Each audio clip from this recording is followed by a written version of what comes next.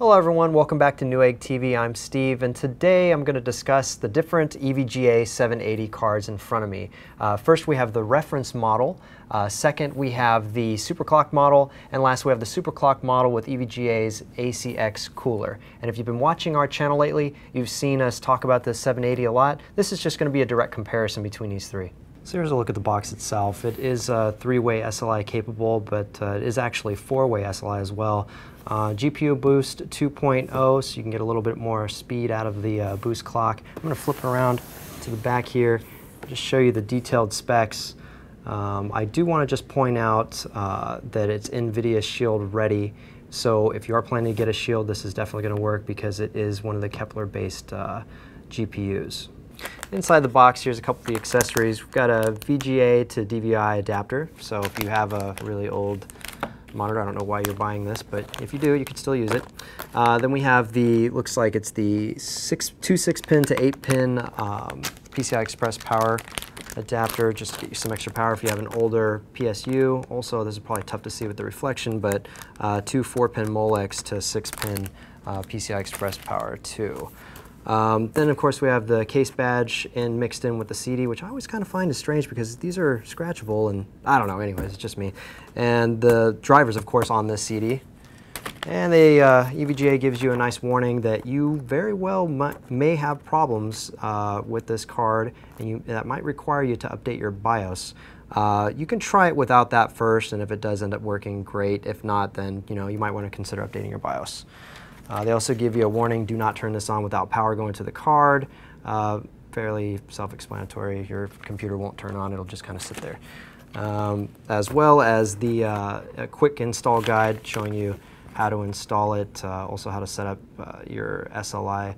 Um, so moving right along to the actual manual itself, you can see here, very small, colored, and standard stuff. So inside the box, you're also getting a couple decals.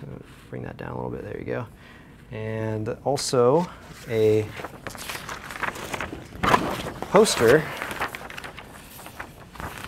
they entitle uh, Game of Pwns. So very nice, very nice. And this, this comes in every one of the three EVGA models that we're looking at. So let's go ahead and take a look at the cards. Here's EVGA's uh, GTX 780 reference card. Uh, you'll notice there's nothing really different here, nothing strange or out of the ordinary or special, uh, which changes shortly. But if I flip around on the back, you'll notice that if you were to compare it to a Titan, it's just missing some of the RAM here that a Titan would normally have, as well as some of the cores.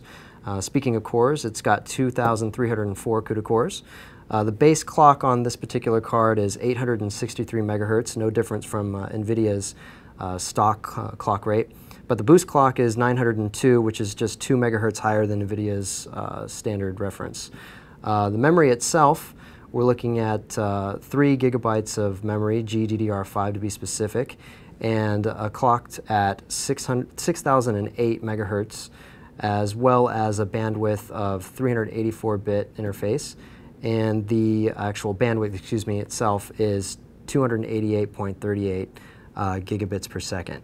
Now if you can see the ports here, we're looking at a display port uh, 1.2, HDMI port 1.4, as well as the uh, DVI uh, analog as well as regular, and then the DVI digital only. So if you were going to use that, uh, that D-sub, that VGA to DVI adapter, you'd be able to plug it in here, but not in this one.